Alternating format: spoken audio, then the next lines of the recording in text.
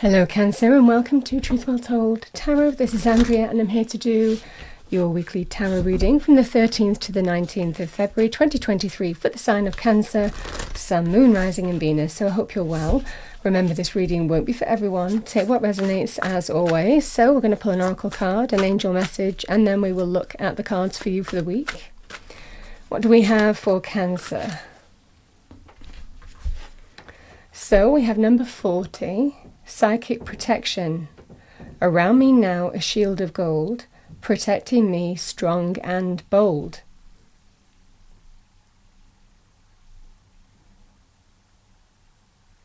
Strong intuition with that as well. I'm going to pull you an angel card and see what we have for you, Cancer. So, what do we have for our lovely Cancerians, please? Angel Spirits Guide, message for Cancer for the week. What do we have for Cancer for the week? We have number 38 positive thoughts. The angels are advising you to focus on solutions instead of problems.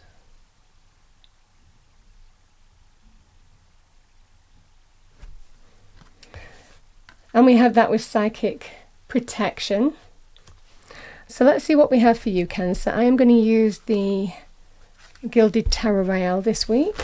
And if we need to clarify, it will be with the original Gilded Tarot. Okay, what do we have for Cancer, please? Overarching energy first for the week.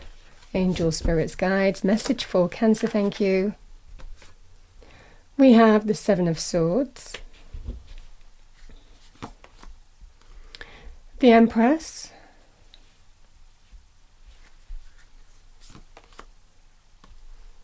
Ten of Pentacles.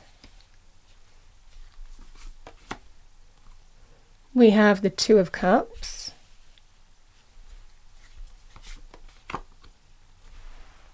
We have the Eight of Pentacles here.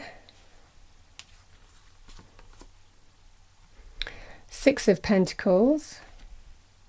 All this Pentacles energy. We have the Three of Wands. And bottom of the deck, more Pentacles energy. We have the Three of Pentacles here.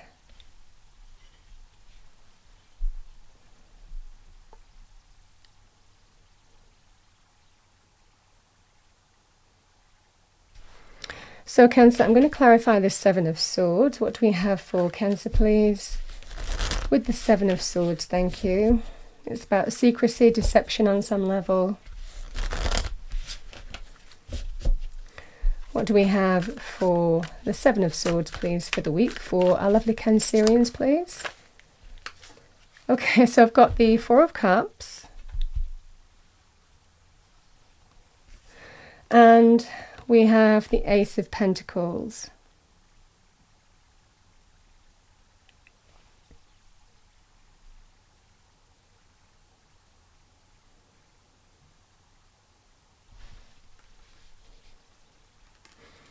So Cancer, the Seven of Swords can be about secrecy. I mean, the amount of pentacles in this reading, for, for some of you, this can be a money thing. Um, and sometimes we do act secretly in money because if we want to pursue other opportunities and are pursuing our own agenda, so to speak, we don't tell anybody about it because it could threaten your current job. So this can be you acting in secrecy because that's what's warranted and that's what serves you right now.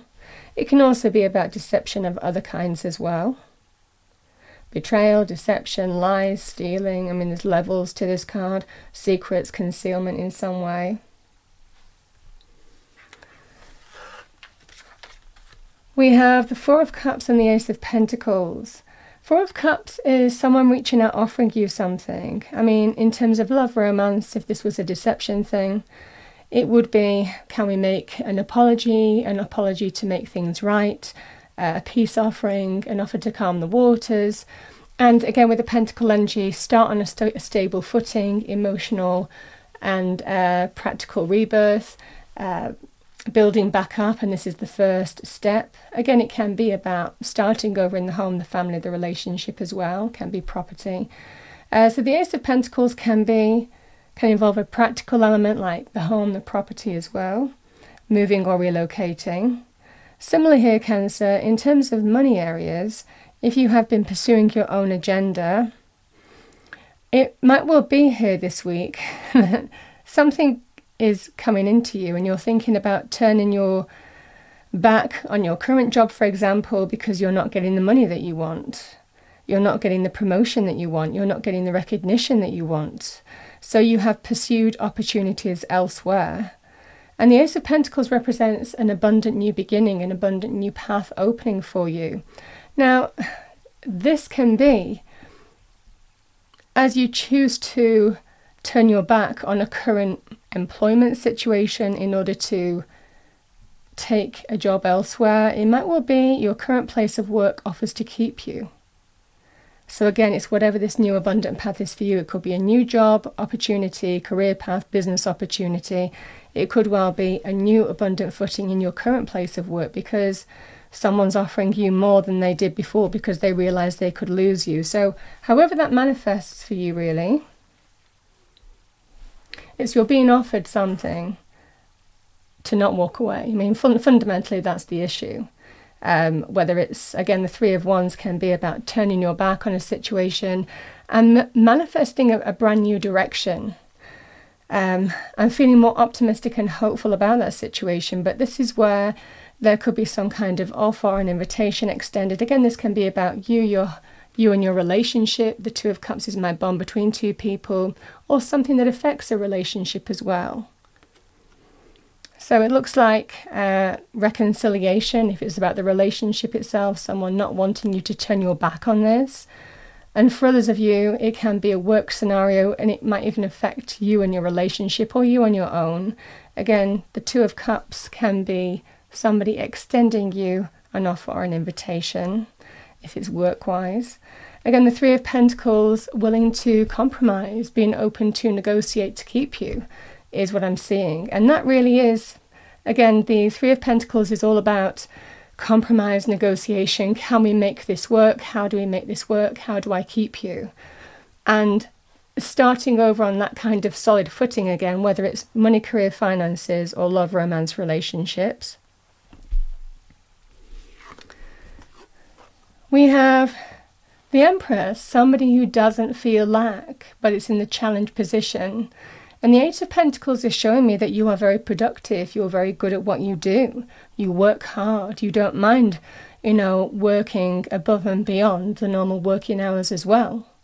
Uh, so this can be a very good energy in terms of somebody who really is very good at what they do. They put in the work. You're reliable. You're you're conscientious, you're methodical, you don't kind of skip steps, you know. This is somebody who absolutely, you know, pays attention to dotting the I's and crossing the T's. So whatever you're doing here, this is you're wanting new abundance, but right now you're not you're feeling a bit of lack. Uh, and you're putting in the work and it looks like you're not getting the results of that. In terms of love, romance, relationships, Again, this is that energy of somebody who's really willing to put the effort in to work through a situation in order to bring new, abundant energy, renewal, healing, nurturing a new path, uh, starting over with you. That's what this person, but it's starting over where you don't feel lack, where this person is saying, I will absolutely make sure that you don't regret not walking away. I will put in the work and I will make sure that you get the experience that you deserve in terms of love, romance, relationships. That's what this person is kind of saying. But the Empress is all about abundance, not feeling lack, feeling bountiful, and the fact that you're on a path that promises um, real potential and growth and uh, success and fulfillment. We have, yeah, the Six of Pentacles and the Ten of Pentacles Ten of Pentacles is long term stability and security. It's one of the wealth cards of tarot. It can indicate financial success, abundance. Um, it is one of the one of the key wealth cards of the tarot deck. It can also be about goal achievement.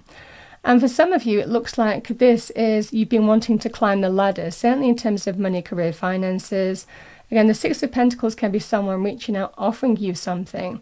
Now, that could be a new job. It could be a new job elsewhere because it looks like they're giving you more, more than what you're getting right now. And again, this sense of long term security, stability, success coming your way, and goal achievement.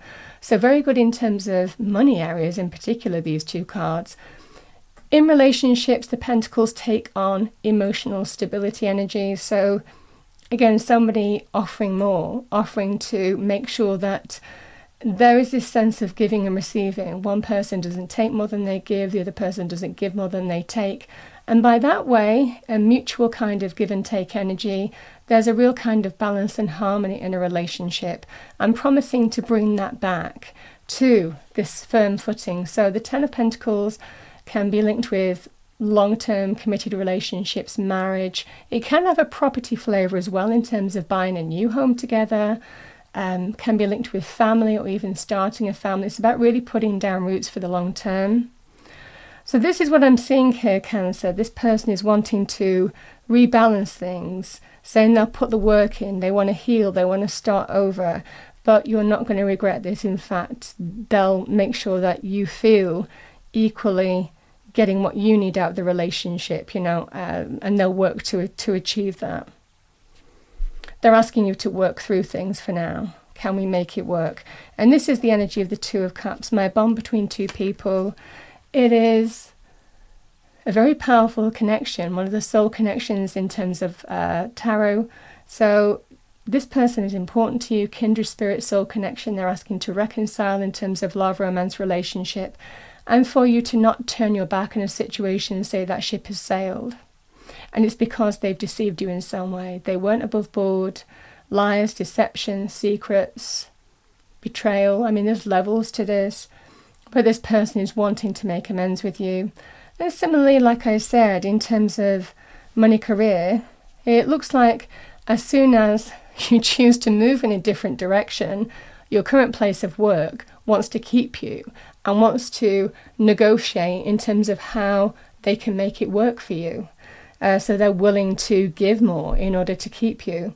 That's what I see for you. The message is that there's going to be this sense of psychic protection. Just trust your intuition, you have that kind of uh, third eye kind of insight this week in terms of how to be astute, how to uh, use your kind of insight to your advantage in some way, and really see the see the future that you want um, and choose whether which which path is possible for you, which path is going to give you that greater happiness and fulfillment. This energy of positive thoughts is really key as well, um, because it looks like what we, you know, the sense of law of attraction, what we put out, we get back as well. So there is that sense of try and approach this with that kind of positive outlook in terms of how you want to resolve this. But there's definitely an energy here of us, you're being offered more. Uh, one person is certainly wanting to make things right with you for deceiving you in some way and is is saying this time around you're going to get more out of the relationship and be fulfilled where maybe you weren't before, or they didn't make you feel that way by what they did.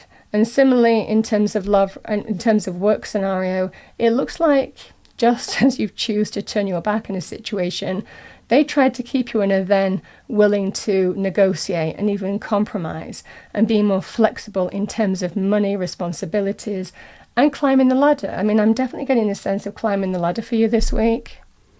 It feels like a pivotal week. Okay, what do we have? I mean, really, the message remains the same. It's just whichever area of life that applies to you. What do we have as a, as a affirmation for Cancer, please? Yeah, interesting. We have hold the vision, trust the process. Bottom of the deck, if you can dream it, you can do it.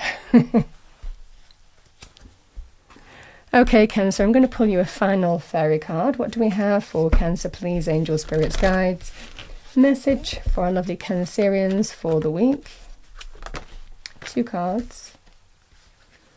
Life energy, which is sunshine energy, always positive. The happy fairy of sunshine brings lots of life giving energy. She reminds you to shine your light and to reveal anything in the shadows that needs to be healed.